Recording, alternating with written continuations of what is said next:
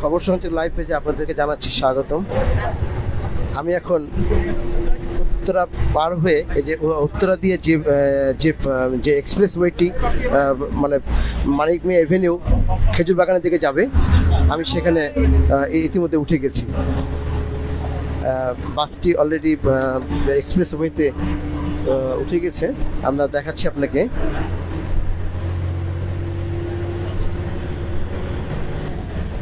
মানিক মেয়ে এভিনিউ থেকে এক্সপ্রেসওয়েতে উত্তরা আসতে, প্রথমে বিমানবন্দরে বিমানবন্দরে আসতে সময় লেগেছিল প্রায় সময় লেগেছে মাত্র পনেরো মিনিট।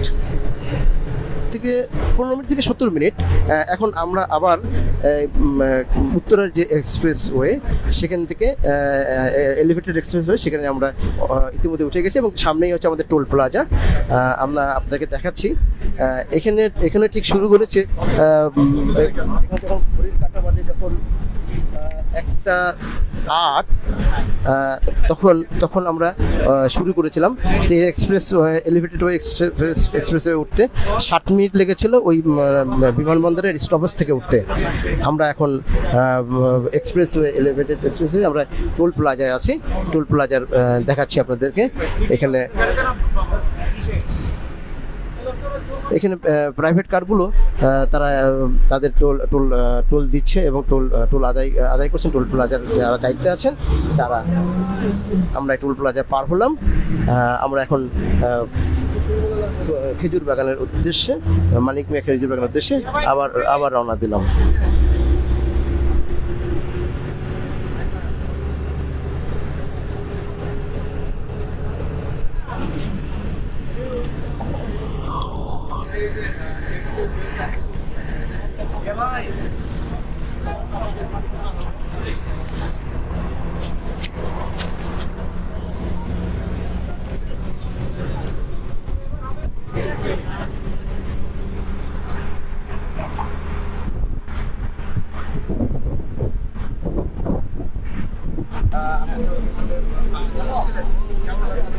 আমি তো খুবই কম সময়ে সার্ভিস এটা। বিআরটিসি এলিভেটেড এক্সপ্রেস যে আজকে যে প্রথম গাড়িটা ছাড়ছে এতে দেখা গেছে যে আমাদের সময়টা খুব কম লাগবো। পঁয়ত্রিশ টাকা আমার কাছ থেকে ভাড়া নিছে। তো ভাড়াটা ঠিক আছে, কিন্তু আমাদের সময়টা অনেক বাঁচবে। নিচে দিয়ে আমাদের সময় লাগতো প্রায় আড়াই ঘণ্টার উপরে জসীমুদ্দিন থেকে ফার্মগেট পর্যন্ত। তো আমাদের সময়ের সময় বাঁচলো। আমরা তো ওই যে নিচের পথটাই বেছে নিয়েছিলাম, উপরের পথটা আমরা ভুলে গেছিলাম যে যেহেতু আমার প্রাইভেট কার কোনো গাড়ি নাই, তো এলিভেট আর উড়াল সেতুটা চালু হওয়ার পরে শুধু প্রাইভেট গাড়ি চলতো। আমরা গণ, গণপরিবহনে যারা সাধারণ যাত্রী, তারা মনে করছিলাম যে আমরা কখনোই এই এই গাড়ি ইয়া দিয়ে উঠতে পারব না।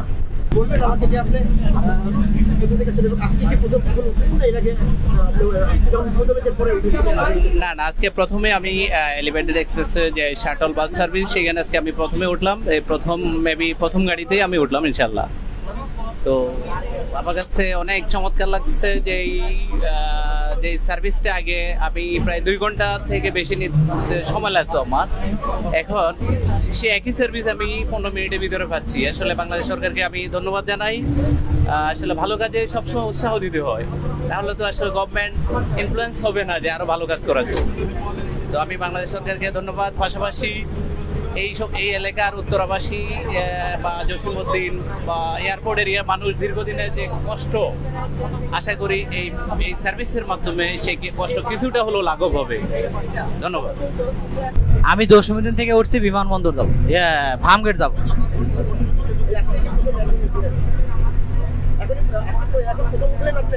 হ্যাঁ আমি এলিভেটেড এক্সপের্টের প্রথম যাত্রী হিসেবে খুবই আনন্দিত।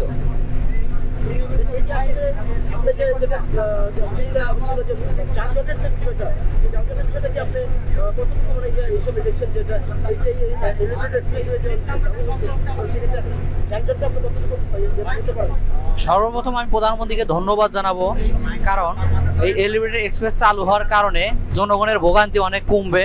এবং স্বল্প খরচে দ্রুত তাদের গন্তব্যে পুষতে পারবে। এজন্য ধন্যবাদ।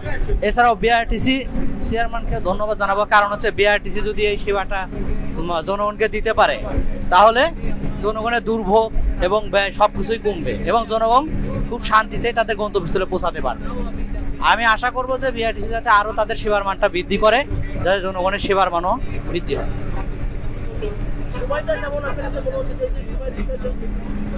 আমার কাছে অনেক ভালো মনে হচ্ছে কারণ আগে নিজে যাইতে যেখানে দেড় ঘণ্টা দুই ঘণ্টা সময় ব্যয় হইতো এখন আমরা সেই গন্তব্যে দশ থেকে পনেরো মিনিটের মধ্যে যেতে পারছি। এতে সময়ও বাড়বে অর্থের খরচও কমবে। ধন্যবাদ।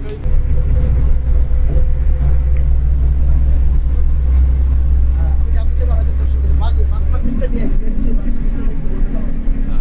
আসলে সব সময় আমরা এই রুটে যাতায়াত করতে গেলে প্রায় দুই ঘণ্টা হাতে নিয়ে বের হতে হতো। তো এখন মাত্র দশ মিনিটেই এখান থেকে ফার্ম গেট যাওয়া যাচ্ছে, এটা আসলে স্বপ্নের মতো। অনুভূতিটা আসলেই দারুণ। তবে আজকে যেটা দেখলাম বাসের সংখ্যাটা খুব কম, যাত্রীর তুলনায়। তো সেক্ষেত্রে আমি অনুরোধ করব যাতে বাস সার্ভিসটা আরও বাড়ানো হয়। থ্যাংক ইউ না আমি অ্যাকচুয়ালি যাত্রী। আর যেহেতু কখনো এলিভেটেড এক্সপ্রেস তো উঠি নাই এই জন্য আর কি খুব এক্সাইটেডমেন্ট নিয়ে উঠলাম এবং দেখে অনেক ভালো লাগল যে দেশে এত উন্নতি হচ্ছে। আর তা সত্ত্বেও অনেক কম সময়ের মধ্যে আমরা যেতে পারতেছি, যেখানে কর্নারিতে আমাদের সময় কেটে যায় তো প্রায় দেড় ঘণ্টার সো আসলে আমি খুবই হ্যাপি আজকের জার্নিটা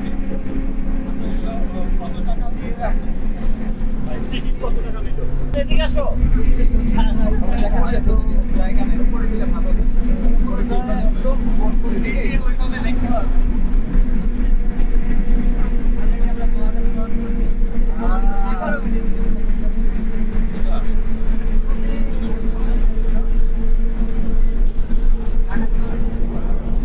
এটা কোন জায়গা এটা এখন কোন জায়গা আমরা?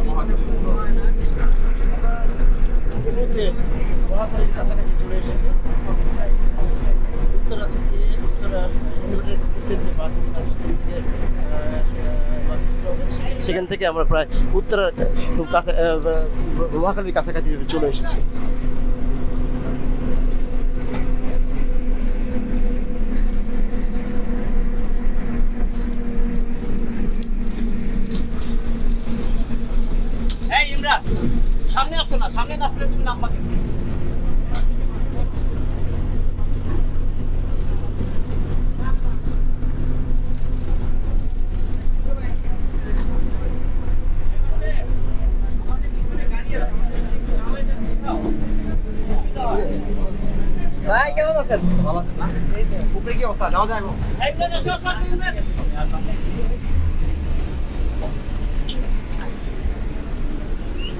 তার বাচ্চা আর আরেকজন আর আছে কেউ না না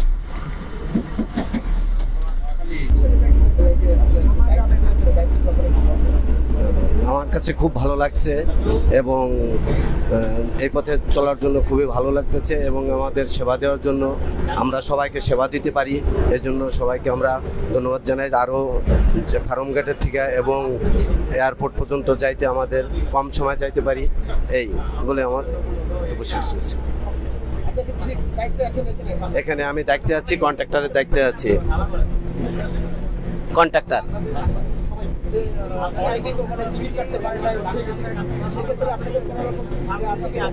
জি, আমাদের সামনে যদি হয়, তারপরে আমরা যখন টিকিট ছাড়া যারা উঠবে, তাদের আমরা চিকের মাধ্যমে ডিভাইস দিয়ে টিকিট কেটে আমরা তাদেরকে সেবা দেবো।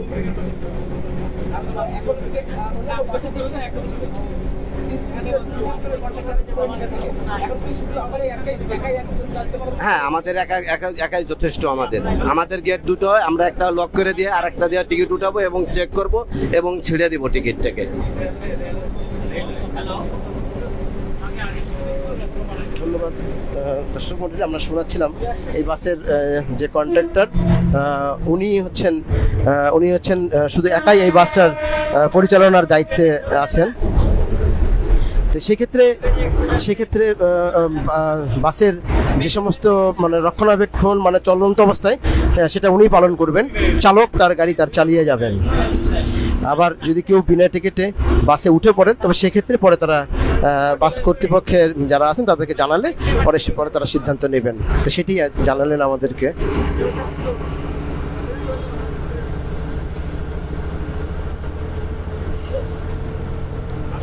তারপর আম- আম- তারপরে আমরা তাদেরকে তারপর জানতে চাইব। আপনাদের আপনাদের ডিউটি আসলে আমাদের ভোর এখানে গাড়ি সাতটা থেকে চালু হলে ভোর রাত আটটা পর্যন্ত আমাদের ডিউটি আবার পরের দিন রেস্ট পরের দিনকে থেকে আবার আটটা থেকে পরের দিন রাত দশটা পর্যন্ত আবার।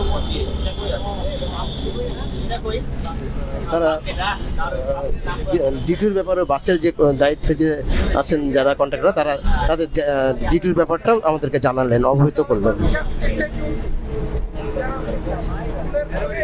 দর্শক মন্ডলী, আমরা এই ফার্ম গেটে এই যে তেজগাঁ কলেজ দেখাচ্ছি আপনার তেজগাঁ কলেজ পার হয়েছে, আমরা তেজগাঁ কলেজ